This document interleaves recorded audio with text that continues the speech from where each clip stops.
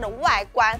跟它的好用效果一样优秀，它是做点雾面的质感，所以呢，你会发现，哇哦，它整个放在那边就是有艺术品的感觉。觉得吸尘器可以站，真的很方便，它非常的轻，往前一推就站起来了。它马达坐在下方，所以重心是偏下的，所以你拿起来的时候很好移动它。它是我们的抛光滚刷吸头。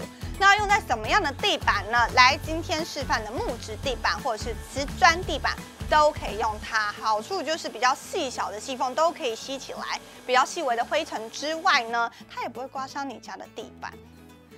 手上完全没有太白粉，非常的干净。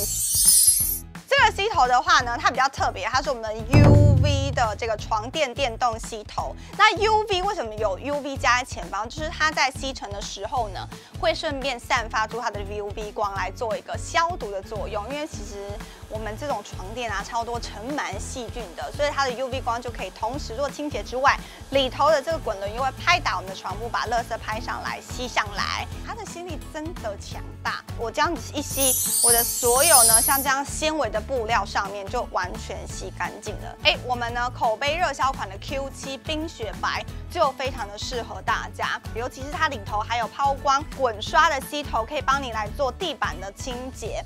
除此之外呢，它还有 UV 的床垫电动吸头，这一款吸头就可以用拍打以及 UV 的这个照射，让我们的尘螨呢无处可躲，直接被吸起来。